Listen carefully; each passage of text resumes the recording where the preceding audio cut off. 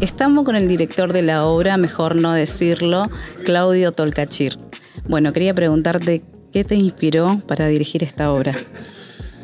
Bueno, eh, en general para mí la, inspiración más grande en el teatro son los actores.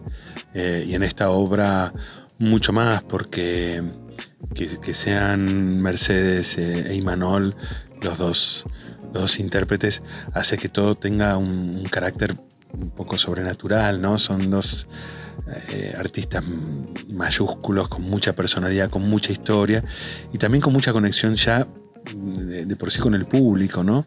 Entonces, crear la comunicación entre ellos, cómo era esta pareja, cómo era este matrimonio, cómo ir armándoles con la escenografía, con la luz, con el vestuario, con el sonido, que en esta obra es muy importante, cómo ir armándoles, digamos, territorios donde podrían jugar, sacar más jugo a cada escena, buscar detalles particulares del, vínculo. Fue un trabajo de creatividad en relación al juego, digamos. El, hecho de que es una comedia permite que, la, que, la, que, el humor esté en la escenografía, esté en el vestuario, esté en la luz, en el sonido. Todo participa del juego. ¿Cómo describirías el mensaje, el mensaje central de, la obra? Bueno, eh, si tiene un mensaje, que no, siempre es necesario ¿no? que las obras tengan un mensaje, pero si tiene un mensaje creo que es el, lo positivo que es o lo divertido que puede ser debatir. que el hecho de no estar de acuerdo también puede llegar a ser una oportunidad, ¿no? Convencerte, escucharte, dejar, dejarme convencer por vos, descubrirte también puede ser un, desafío interesante no estar de acuerdo, eh, convencer al otro. En el caso de esta pareja es hasta erótico eh, discutir, eh, no estar de acuerdo, convencerse, ganar, perder la pelea. Es como una forma de seducción. ¿Y qué esperás que se lleve la audiencia de esta obra?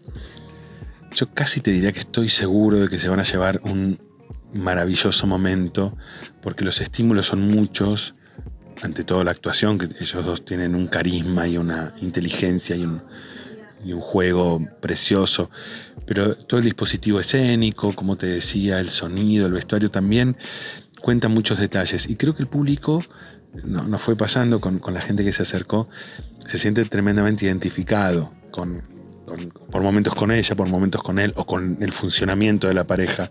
Decía, soy yo, soy yo, soy yo. Y creo que esas cosas eh, vienen muy bien en este momento. Poder reírse también de cómo somos, ¿no? de, cada uno de nosotros con, sus parejas. ¿Tenés algún mensaje o consejo para otros que quieran dirigir una obra de teatro? Em, que tengan curiosidad eh, que traten de no tener prejuicios, que, traten de estar abiertos, porque las respuestas vienen del ensayo y vienen de, de, la apertura, más que de tener los dogmas y las estructuras eh, que, te, te, impiden descubrir. Creo que lo más interesante como director es que hay dos actores tremendamente diferentes, una escenógrafa, una vestuarista, un iluminador, un sonidista, una asistente, y todos vuelcan, y uno como director intenta no perderse el, aporte de cada uno y hacer de todos una unidad. Entonces creo que lo, más importante para saber dirigir es, es saber escuchar y imaginar. ¿Y cómo fue ese proceso de colaboración escénico? Bueno, esto, sobre todo lo primero que hago es invitar a que lo usen el espacio del ensayo, ¿no? Que, entren en confianza, que podamos probar, que podamos equivocarnos, que podamos encontrar cómo esquivar los, lugares comunes, ¿no? las convenciones y hacer algo creativo que nos divierta. Eh, así que en ese sentido trato de que el clima sea lo más auspicioso posible para, que cada uno pueda arriesgar, ¿no? que no se, tenga que proteger, que pueda jugar. Em, y ellos tenían muchas ganas de jugar y de probar cosas.